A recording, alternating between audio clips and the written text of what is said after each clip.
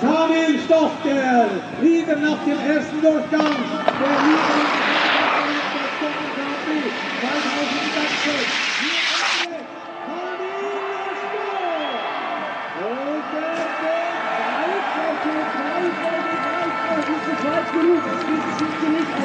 Aber ich denke, das Das könnte reichen. 112,5 Meter, zwei Meter weniger als im ersten Durchgang. Aber er hatte eine solide Reserve nach dem ersten Durchgang.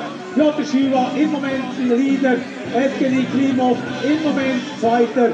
Und äh, es geht jetzt nur darum, ähm, ja, sind die Polen direkt beieinander, zuoberst auf dem äh, Podest oder steht da ein Russe mittendrin äh, auf dem zweiten Rang. Ich gehe eher davon aus, dass Evgeny Klimov wirklich dritten wird, Kamil Stoch und Piotr Schiwa zusammen vorne.